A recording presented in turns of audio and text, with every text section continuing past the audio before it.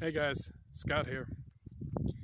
I realized in the last video I did, I should not have done a video that was over, you know, 25 minutes long at the absolute most. And that was my, my fault. I apologize for that. Anyway, I'm doing this other, this video because, well, why not? And, um, I didn't state in the last video, mainly because I didn't know that I was going to flip it around, that it was showing that I am left-handed, but it's flipped over, so I'm actually right-handed. Now, if someone was actually filming this, which they're not, like I'm doing again today, it would actually look like I'm right-handed, but I'm not. I have this on a tripod because I just prefer to do a one man show, if you will. So, anyway, I'm going to uh, do a little shooting with my Cimarron 1875 Outlaw again and talk about a couple of things. And also, before I forget, so for Christmas, I got two boxes, once I can remember which pocket I put it in, two boxes of these Total Ammo 38 Special uh, non corrosive Russian uh, cartridges, and I just realized I got the box in front of my mouth. I apologize for that. I got two boxes of these for Christmas, 50 count boxes. It was either that or two 20 count boxes of hollow points, but they were the same price as these. So I figured uh, I could get two and a half times as many bullets for so that wasn't much of a brainer. Excuse me. Of course, I'm still doing uh, the um, reloads that I got when I bought my, uh, or rather, when I picked up my handgun. And the weather's uh, it's going dark and light and whatnot because it's pretty cloudy today. It is the 19th of January of 2022. I cannot believe we're almost a twelfth of the way through 2022 already. I spent up until yesterday, uh, late uh, late yesterday morning in Phoenix with other family members because I went down there for Christmas and New Year's Eve or New Year's, but I ended up spending an extra two weeks down there. My mom and I, because one of my brothers-in-law had broke his ankle on the 17th of December. And he had surgery done a week ago this last uh, Monday. No, two weeks ago this last Monday. Or it was either a week ago or two weeks ago. No, two, a week ago this last Monday.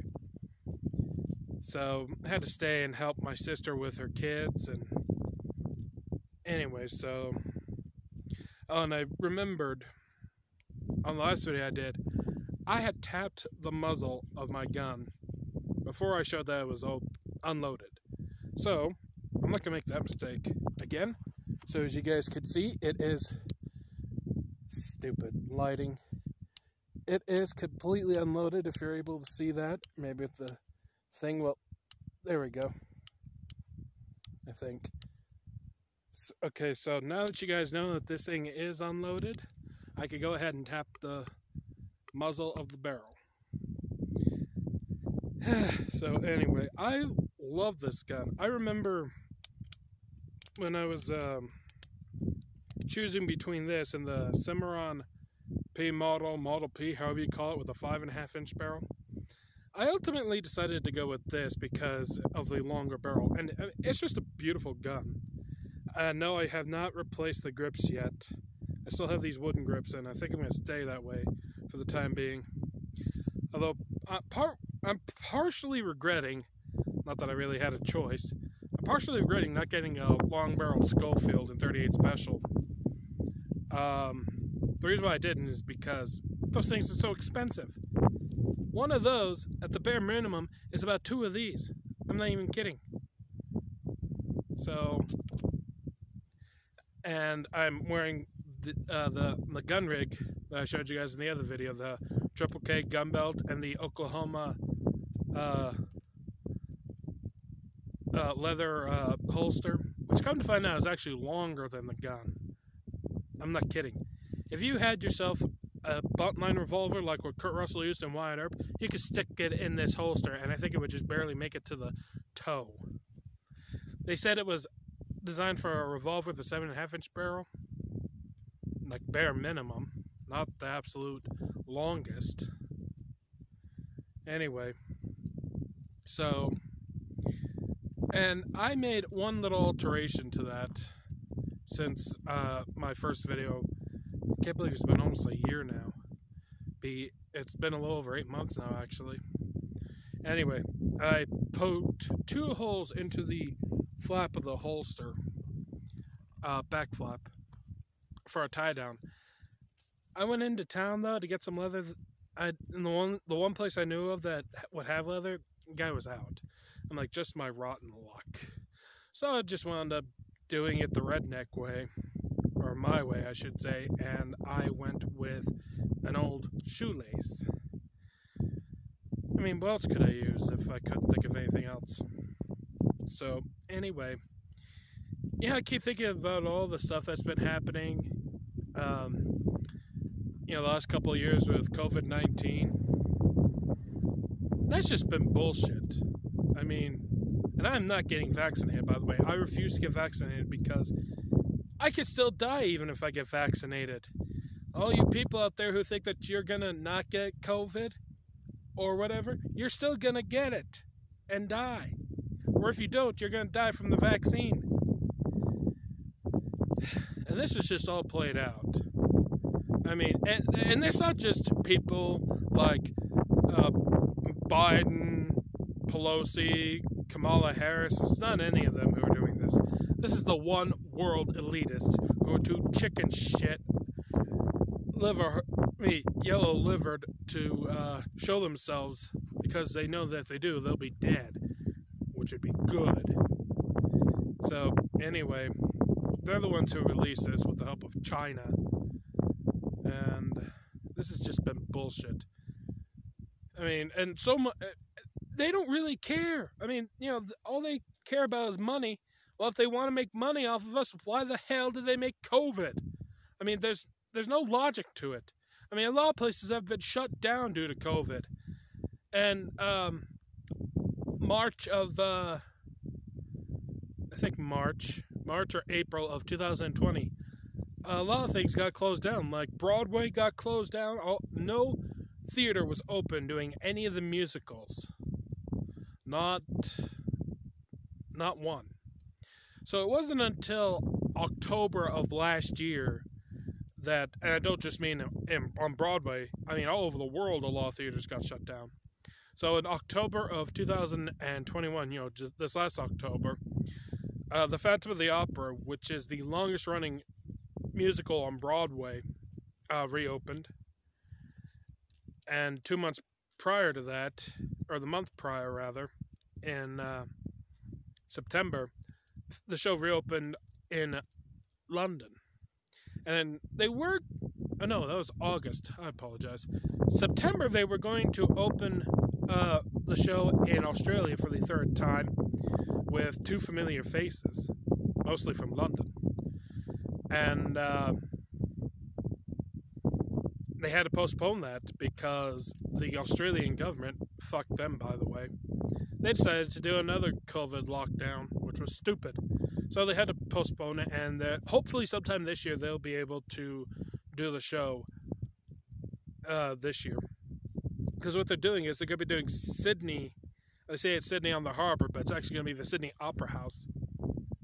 And uh, thought I heard something behind me. And then I guess they're going to be doing the show in Melbourne, which is where it's predominantly been since 1990. Um, Anyway, I'll tell you the thing I actually like about going back to my past topic of you know shooting and whatnot, and the fact that I'm using a tripod. I love being able to use this thing because I'm using one of the braces for the legs for the carrying case for my tripod, and I'm using the handle to you know the to swivel the camera around, I'm using the handle for my uh, headphones or my ear protection, I should say. I keep forgetting what they're actually called, but ear protection, earmuffs, whatever. So, anyway, now I'm going to shut up. I'm going to load up my gun. Now, of course, despite the fact that I got 110 bullets, I'm still going to do the 114 technique. Now, you know, a lot of people argue about the safety thing on that. Hey, my motto is better safe than sorry. So if I want to carry only five in my gun, by God, that's what I'm going to do. Nobody can tell me how many bullets I could carry in it. Okay, I'm going to put that in the holster for the time being. I'm going to take my headphone, my earmuffs, rather, and then I don't know if you guys can see, you should be able to see that water jug, water jug, soda jug actually, down a ways. That's what I'm going to use for target practicing. The thing okay, whenever I was doing target practice with 22 ammo, I would prefer, you know, soda jug, coffee can, or aluminum cans for sodas or beer. But since I'm using, you know, 38 special ammo, I think I'd rather do, or I'll do the soda jugs, I'll do the coffee cans, but I'm not going to do the aluminum cans anymore. Because, you know, I'd rather just the target be something bigger than what I usually use use for uh, 22 ammo.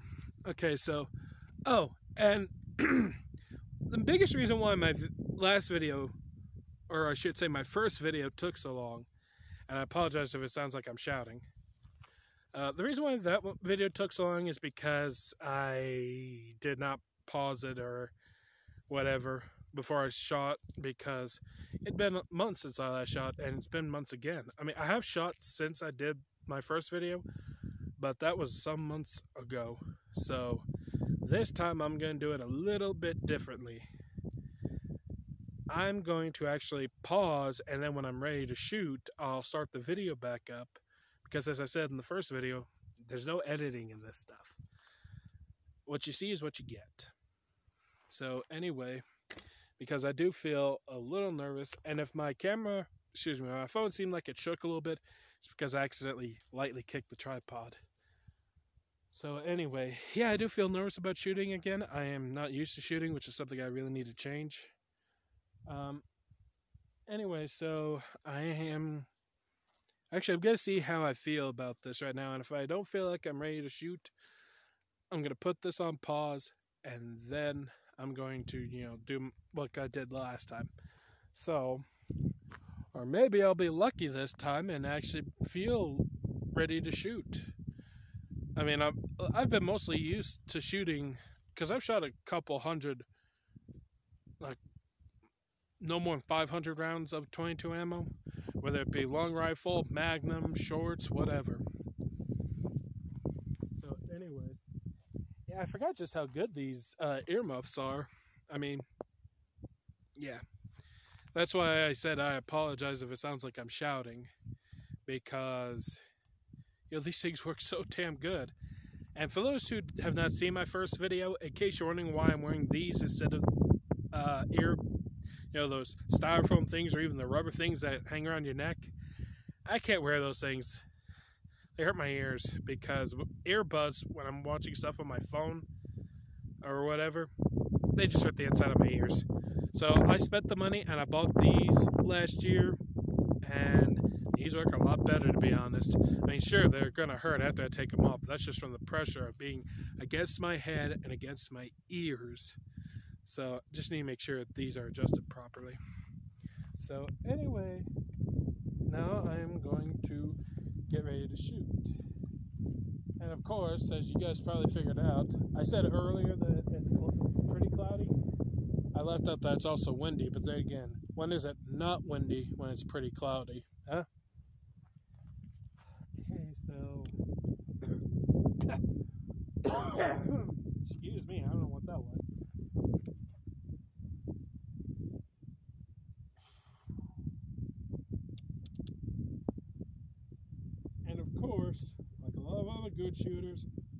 Going to keep my finger out of the trigger guard until I'm ready.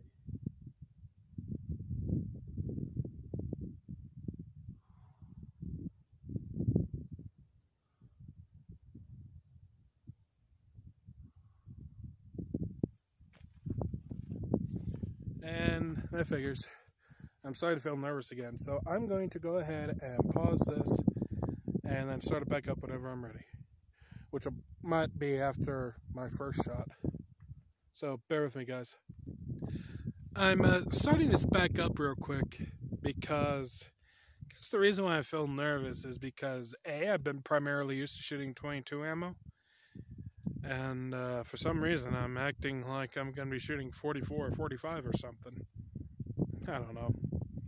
Or 50 for that matter.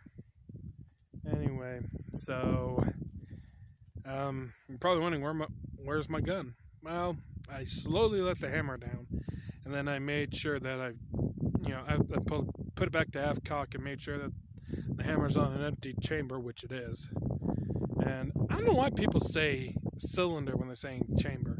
There's a big difference between cylinder and chamber. Cylinder is the whole thing. A chamber is just something you put the bullets in like I said, big difference. So anyway, yeah, you can see the soda jug, and it's a three liter bottle, not a two liter bottle. So anyway, I'm going to uh, pause the video again, and then we'll see when I'm ready to shoot. So be back in a bit. Actually, one thing I left out. I'm nervous uh, because of flinching. I mean, there's nothing here that's worth uh, hitting besides the bottle. But I'm just afraid of something ricocheting and the lead slug coming back and hitting me instead. Guess it definitely proves I got a conscience. So, anyway, be back again. Well, I just fired the first shot. Good thing I decided to pause this. And I also brought the bottle up closer and I believe I hit it. Anyway, I also took this time while I had this on pause to take half the bullets in the box and put it in the loops on my gun belt. And uh, as you notice, I just took my jacket off. It was a little in my way with the bullets on my belt, so I had to take it off. Okay, now that I feel more confident,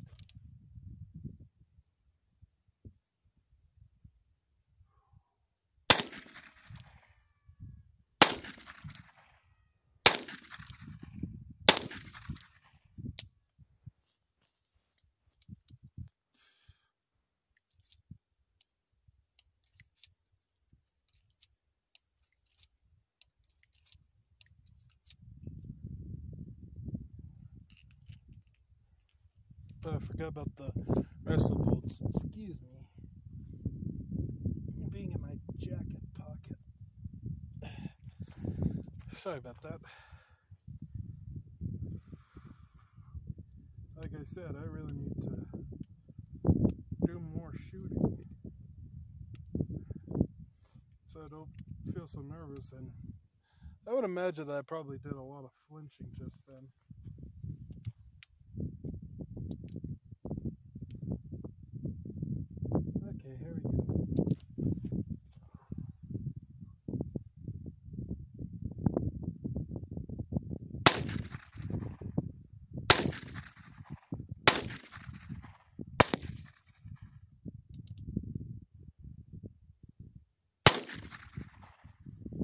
I have no idea what that was all about with that one.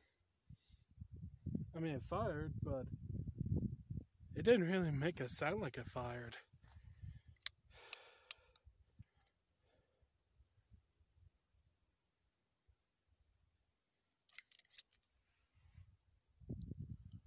What is that? There's some stuff in this case, and I don't know what the hell that is.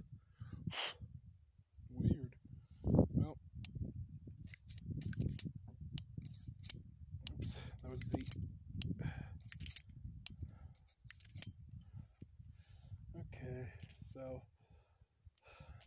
definitely gonna do five more rounds, but I might do ten more. we'll see how I feel.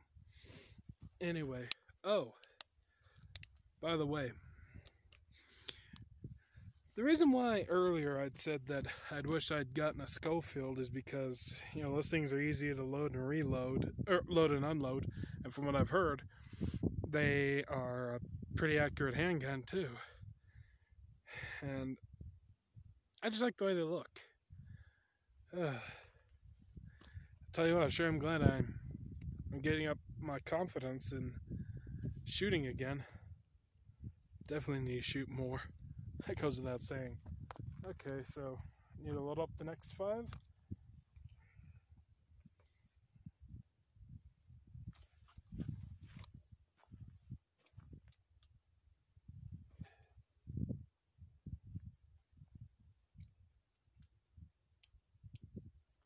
See how the how this Russian ammo works. S- Steel cartridges definitely feel thicker than brass. That's a fact.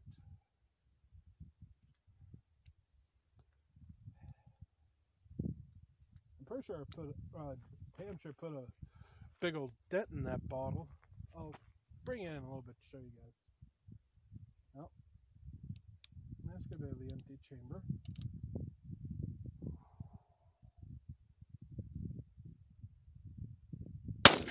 Whoa!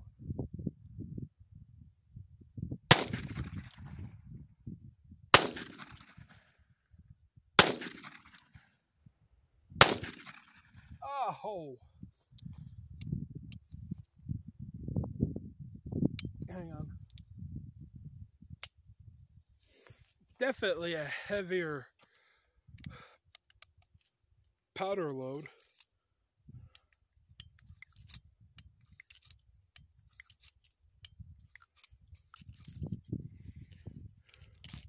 Oh, these 30. I know these are, they say 38s, but more like a 357. And the reason why I went with 350, or 38 versus 357 is because it's supposed to be a lighter load. So I'm just gradually working my way up through the calibers, and hopefully I'll be able to hit, do 45 soon. We'll see. I just loaded up five again.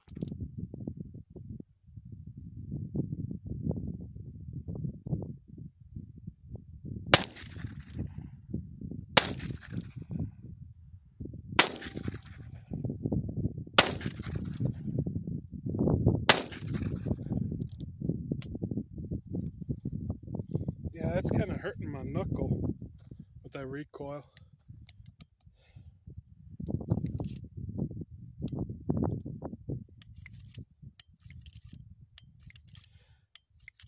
One thing I should have taught myself a long time ago was even if I was sure that I went through all five bullets, I should make sure that I did.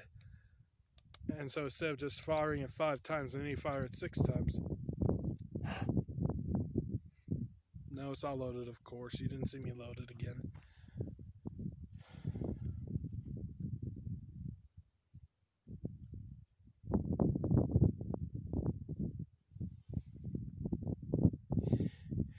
So that was 20 loads, or 20 rounds. think, uh, I think that's all I'm gonna do. So I will be right back. I'm gonna go, I'm gonna put this on pause, go get the bottle and bring it back and show you guys. Be right back. Okay guys, I'm back. Yeah, so here's that dent I was telling you about. And that I'm pretty sure was the cause of the dent. But yeah, I managed to put in quite a few holes in this thing. And uh, that's pretty damn good. And when I said heavier loads, I meant hotter loads of ammo or powder. So anyway, um, uh, I hope you guys enjoyed this video. I hope you and liked it. I hope you guys liked this video. So if you did, please hit the thumbs up. If not, go ahead and just hit the thumbs down button. Not many YouTubers, actually not a single YouTuber I know of has said something like that. They said hit the thumbs up button. and they also said hit the subscribe button, but I'm not going to. This is my only second video. So, anyway, I am going to sign off on this video, and I will see you guys later. Bye.